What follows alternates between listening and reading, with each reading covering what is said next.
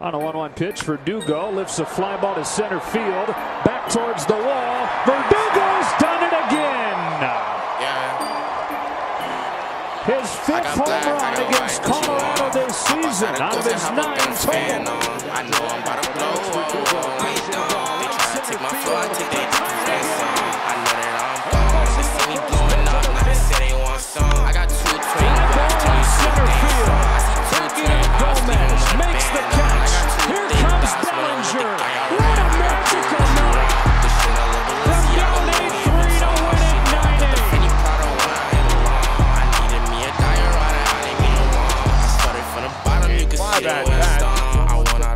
I want that to wear some.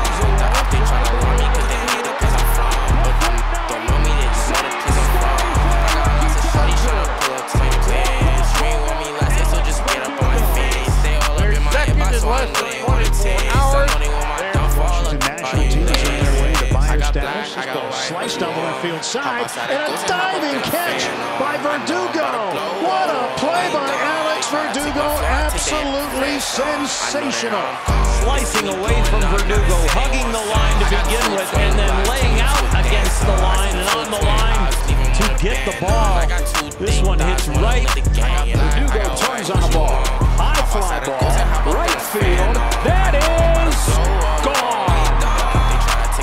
Second of the year for Alex Verdugo. Puts the Dodgers in front 5-1. I got three twin glocks, turn you It's a a high fly ball to center field. Got himself an RBI triple. It is cued over the glove of Seager into left field. Robles scores. Here comes Parr to the plate, and he is out. Thrown out by Verdugo, but the tying run comes across. It is a one-to-one game as Eaton drives in one. Alex Verdugo. The heart of the lineup coming up here. That's hooked to right, towards the gap. It'll split it.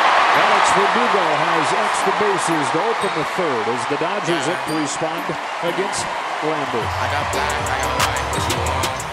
Ricky the ghost and hop Verdugo the hits one to right, back to back base hits. And the Dodgers have him at first and second with one gone in the ninth. See me blowing up, now they say they want some.